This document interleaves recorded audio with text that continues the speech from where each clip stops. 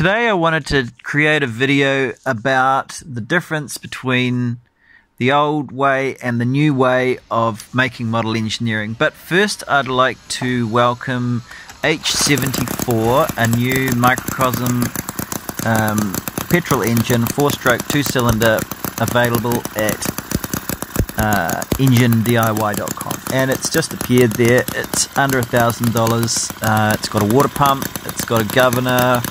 Got a radiator, uh, twin cylinder.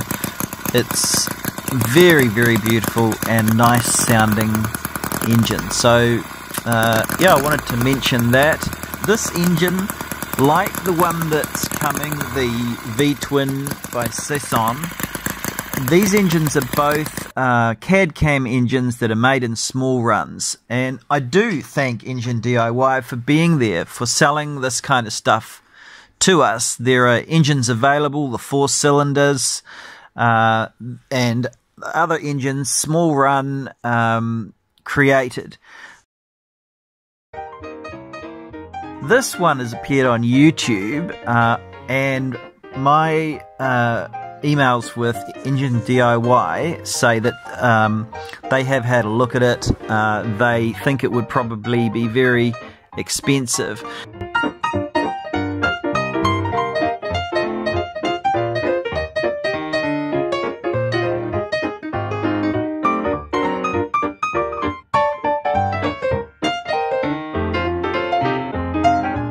The guy who's making this, as you can see, it's a CAD CAM job that he's actually outsourced. So rather than your traditional model engineer will get the plans, work from those, create something. Uh, and yet this guy's made a plan and just outsourced all the manufacturing. That means that he can make more of them. You know what I mean? And he said in his uh, YouTube that he uh, that it has some parts that are made by 3D printing, but that the production version these would be metal. So he is eyeing up production.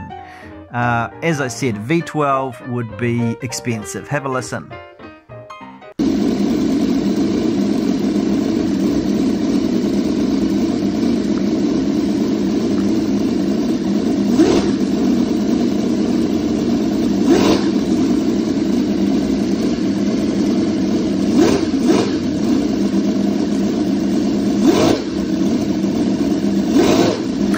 Amazing sounds.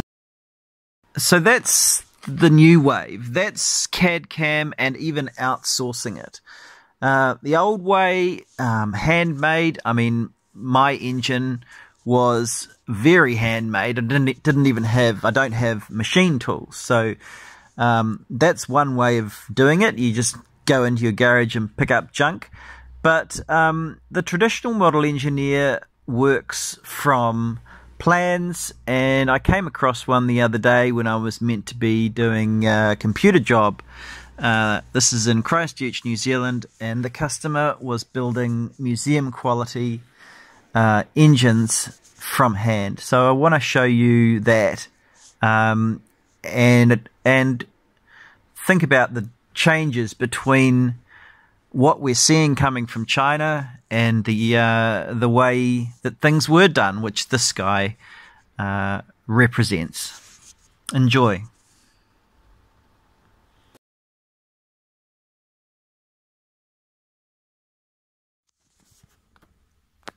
I'm here doing supposedly doing computer work. Uh, this is. Uh,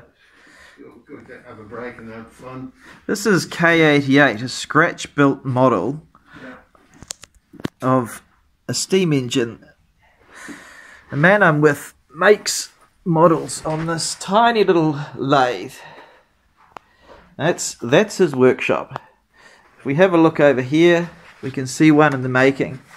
See the kind of work that he puts in to scratch building. And there's my finger, so you can see how big it is. The detail in those little connecting rods is just remarkable. So, some pretty good tools, some pretty good skills. Just beautiful. Um, feel very lucky to see this. And uh, now this engine K88 was pulled out of a stop bank. The original was put in a stop bank as a uh, as a protection uh, to, for the built up railway to uh, from the river. So they put it beside the stop bank. It was pulled out many years later. I'll show you the pictures. And then it was rebuilt in Ashburton, which is near where I grew up.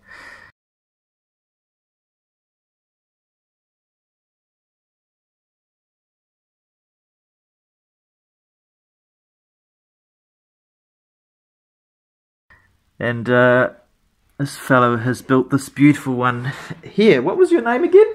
James Hardwood. James, how long did that take to build? About five years. Five years. And how long ago did you do it? Yeah, I finished it in. I started it in 1975, I think, from memory, and finished it about 1980. Goodness me, it's perfect though. Took it over to the Australian Railway Modeler Show in Melbourne and managed to win their top prize. Oh my goodness, I'm not surprised. Well, yes, was- there it is. That's K88. That's it at Lyttelton for it. Yeah. That was a picture by the late, Yeah. painting by the late Bill Stewart. Yes. Now that's not the original, is it? No, that's, yes. The original painting by W. Stewart. Yeah. Goodness me, I've become a collector's thing as well. Yeah, that's actually 87. Yes, I see that. Lincoln. Lincoln. Beautiful though. Mm. Thank you so much for showing me. It's been a real pleasure. Yeah, it's Yeah. to get. Ian? I can't believe it. It's just so tiny. Thank you. You see on that there, it's got two um, crankshafts and four ex- Eccentrics. two eccentrics in there. So, um, yeah, just beautiful. Well, whoever's receiving it will be pretty happy. Do they do they order subsequent engines from you, or is it different people? Oh, I've got one person over there who's got um, more money than Yeah. he needs. Yes, yes, Literally, I mean millions of yes, pounds. yes. And He's that's a- his hobby. He's a pop music impresario. He's oh, is he really? He owns studios. Ah, Yeah, okay. he took me round one one day and he's got about, I don't know how many, 30 or 40 gold discs hanging on the wall Yeah. of various people of, you know. Were you talking by Skype or something? Hmm? You were skyping to him. No, no, I was over there. Oh, okay. Remarkable. Yeah, I got all sorts of pictures here. Things, that's all I've got, you see, I sold the damn thing. Yeah, and these are some that you've built. Yeah, both of these are owned by Pete Waterman. But you must be happy to know that they are um, they are out there. And I mean, that one there, he paid me £17,500 for it. wow, Paid for our daughter's wedding. in that is England. It amazing. did, it paid for our daughter's wedding in England. And how how long ago was that? um, that would have been late 90s. So that's an absolute top craftsman effort. That's the pri- you know that the effort you must have put in. Mm, and uh, that's very unusual because it was one of the early London Northwestern three-cylinder compounds. Yeah, You can see the inside cylinder there was about 26 It's inches huge, diameter, and the ones outside were about 10 inches. Yeah. The little ones on the outside. fascinating. Thank you. I've never never seen one of those. Copy of the original works drawing, and there's the mate that goes with it. You see this? So you work off the drawings. Oh, yeah. and that's why it takes so long. Oh, there's the huge internal cylinder you mentioned Yeah, that's it. Yeah, Yeah. And you can see it there. yeah. That's the section Goodness through it, me. whereas that is looking at it from the outside. Yes. Fascinating. And that is a split halfway about there. One looking that way and one looking this way. So, what was your career? You're retired now, but were you a professional engineer? No. I was nine years a soldier in the British Army. Oh, okay. And I did a lot of electronics and stuff there. Yeah. When I finished up um, working for a computer company. I actually worked for English Electric actually. So it's similar to me. You know, have a interests in engines and models, but work Yeah. is is electronics and computers. And then, as it came, the sort of things that you work on, which are throwaway bits, Yes. no fix it anymore. Yes. And the original ones I worked on were all originally transistorized. Yes. And there was about, oh, a huge room with about 20 or 30 cabinets and tape decks going every which way, you know. I saw some when I first went to university. They were old by then. Yeah. Yeah, well, that was the things I worked on originally, and then eventually I was made redundant, Yeah. And I got a job with a little factory making mobility equipment.